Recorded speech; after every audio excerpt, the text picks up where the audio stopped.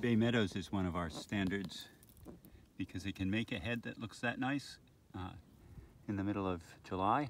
Uh, that is not something many would be able to do in the beginning of our trial. So we've used it as a standard and we're putting it here in really the toughest slot. So it will not be beautiful, but there's that, it still has a small bead, nice dome on it, uh, but the uneven bead sizes. The, uh, the heat injury that we are breeding away from. There we go, Bay Meadows looking not quite good enough today.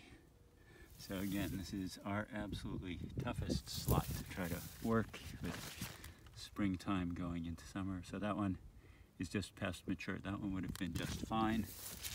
Um, something like this. Boy, close but not good enough. And that one is uh, only seven inches, uh, so that was would have been harvested a few days ago. Um, that was probably just fine. And here we have another one that would have been just fine. So it varies, uh, makes a nice sized plant, good color.